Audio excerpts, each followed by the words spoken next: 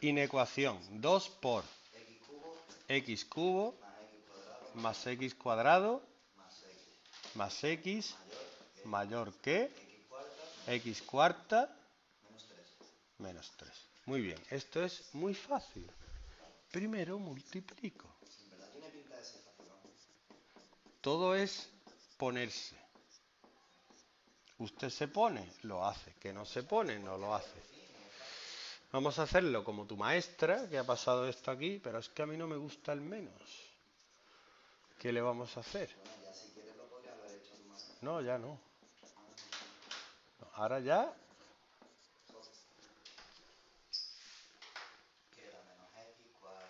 espera un momento. No me gusta como lo ha hecho tu maestra. Me gusta tan poco que lo voy a cambiar. Si paso todo eso para allá, queda x cuarta menos 2x cubo menos 2x cuadrado menos 2x menos 3 menor que 0. Rufino. Rufino, Rufino, Rufino. Con el 1 no salía, ¿no? Sí, Con el 1 sí. O con el menos 1. menos 1, 1, menos 1. menos 1, menos 3, 3, 1, menos 1, menos 3, 3. Y luego saldría con el 3, ¿no?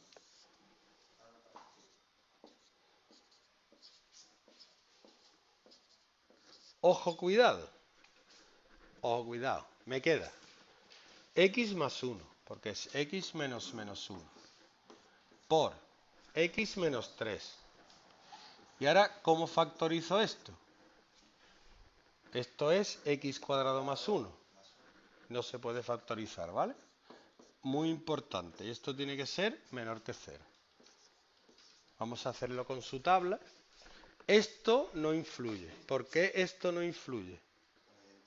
No, porque siempre es positivo. Eso siempre es positivo. Entonces, fíjese que tendremos que poner en los intervalos menos 1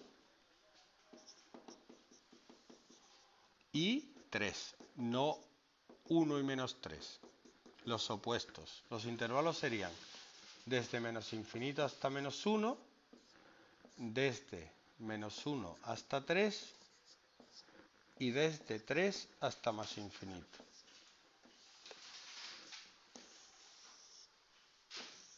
Entonces las cambias signo y otro. Sí. Pero es que no se tiene que aprender las cosas mecánicamente, todo esto tiene una razón. Los profesores intentan enseñar las tablas estas para ahorrar tiempo, pero sin que deje de entenderse. Pero si lo deja de entender, si lo quiere aplicar mecánicamente, no mola. Como este siempre es positivo, es que ni lo pongo. A ver, es, esto es Negativo. Positivo, positivo. Y esto es negativo, negativo, positivo. Como tengo que multiplicar sería menos por menos, más, más por menos, menos, más por más, más. Y como son los negativos, el único intervalo que valdría sería este. Yo lo dudo mucho, lo siento mucho, pero mi método es mucho mejor. Porque soy informático. Soy algorítmico. Los matemáticos son matemáticos.